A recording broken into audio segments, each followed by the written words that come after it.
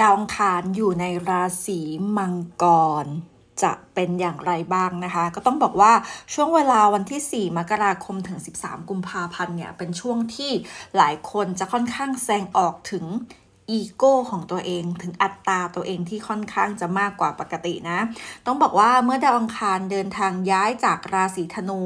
เข้าสู่ราศีมังกร พลังงานจะเปลี่ยนเลย ตอนที่อังคารเนี่ยอยู่ในราศีธนูใช่ไหมคุณก็จะรู้สึกถึงการอยากผจญภัยอยากจะแบบทำอะไรที่มันแปลกๆแหมกแหวกแนวทันสมัยทำให้แบบเหมือนปล่อยให้เป็นตามอิสระให้มันเป็นตามธรรมชาติ แต่ว่าเมื่ออังคารเนี่ยเขาย้ายเข้าสู่ราศีมังกรแล้วอะค่ะ คุณจะสัมผัสได้เลยว่าคุณจะเปลี่ยนพลังงานแบบชัดเจน เป็นการทำอะไรที่ จับต้องได้ ไม่เพ้อฝันมีเหตุมีผล คุมตัวเองได้ ดาวอังคารในราศีมังกรเป็นพลังงานที่มีเจตนาและไม่ย่อท้อต่ออุปสรรคทำให้เราสามารถโฟกัสในเป้าหมายระยะยาวของเราได้ และมีแรงบันดาลใจมาเต็ม ในช่วงนี้จะอยู่ในช่วงตัดสินใจก่อนที่จะลงมือทำอย่างชัดเจนนะคะ ว่าสิ่งที่ทำเนี่ย เราได้วางแผนการที่รอบคอบมากขึ้นหรือเปล่านะคะ เพื่อความสำเร็จของเรา ต้องบอกว่าเป็นการใช้ประโยชน์จากพลังงานในช่วงเวลานี้ ให้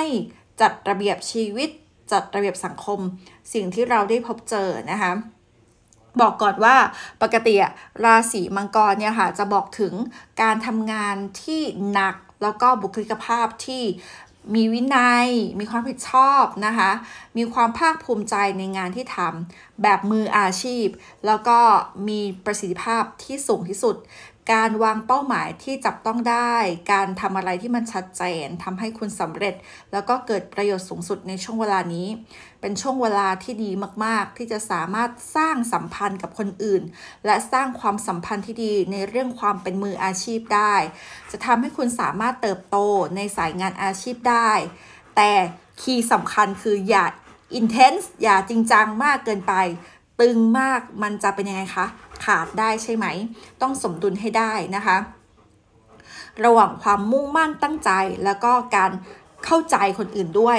อังคารอยู่ในราศีมังกรเป็นการนำมาซึ่งไปตายซึ่งเป็นการจัดลำดับความสำคัญในชีวิตนะคะ ในช่วงเวลานี้เรื่องรักเรื่องใคร่เนี่ยค่ะอาจจะพักไว้ก่อนเลยนะคะ แล้วก็คุณจะไปโฟกัสในการสร้างความมั่นคงในชีวิต ความลึกซึ้ง ความอดทน เป็นช่วงเวลาที่เพิ่มความน่าเชื่อถือให้มากขึ้น